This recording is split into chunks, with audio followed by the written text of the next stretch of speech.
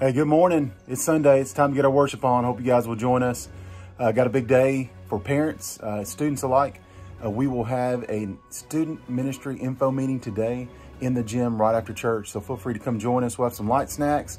This will not take long at all, but I will be around along with Pastor Ryan to answer any questions you may have. But we're going to be talking strategy. We're going to be talking about some of the big events that we'll be having this year and uh, just really introducing you to student ministry if you've not been here before. And this will start assimilating our uh, extension to fifth and sixth grade. So if you have students uh, that are uh, going into fifth all the way up to 12th grade, you'll want to make sure you uh, participate in this meeting today. So come by and check us out. Um, we got plenty of information. We're going to be talking about registration for next week. Next week is Promotion Sunday, so everyone will uh, join their new classes next Sunday. So this is kind of a preemptive information strike, if you will, kind of get you guys acclimated to what's going to be going on in student ministry. And I love to see you guys there. Um, and we have a big event this coming Wednesday. So for uh, students that uh, are have graduated and uh, those that have completed fifth through 12th grade, you'll be able to attend our last Real Days of Summer event and that will be to Hot Springs as we go ziplining. The cost is $50. Today is the last day to register. You must go out to our uh, website, uh, realstudentministry.org, and uh, if you'll click all the way down at the bottom, it says Real Days of Summer for August 11th. Register today, and then tomorrow I'll be sending a group text to confirm that you're registered, and two, to give you some more information.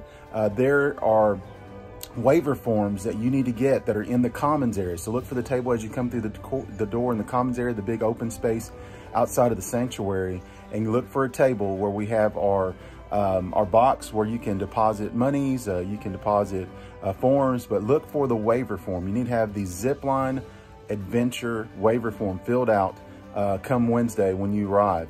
And I'll give you all the details in that group text. So if you don't get a group text from me tomorrow, and you plan on going ziplining, you probably need to text me early tomorrow because I'll be making uh, our last minute arrangements on um, logistics and connecting with the, the company that's going to be hosting us.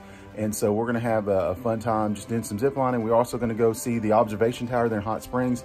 Uh, some students have not done that before. We're going to be splitting up into uh, middle school, junior high, so fifth through eighth grade, they'll be going at one time, and then our high school will be going at another time. So we call that our JV and our varsity. So, hey guys, it's just been a great summer, been fast and furious, and uh, we're about to come to a close, but school's going to start next Monday. So, oh my goodness, man, I can't believe where the summer is going. But hey, listen, it's been a, a thrill and a pleasure uh, to just love you guys this summer. Hope you guys get excited about being on mission uh, as you get onto your campus, as you get into this school year. And uh, we will uh, connect and uh, talk more about more student activities today at our parent meeting right after church. Talk to you guys later. Bye.